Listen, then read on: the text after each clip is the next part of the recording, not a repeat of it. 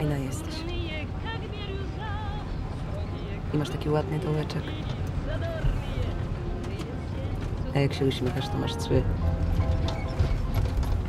Faceci zwariują. Nie masz czasami grzeszne myśli? Tak. O miłości cielesnej? Nie.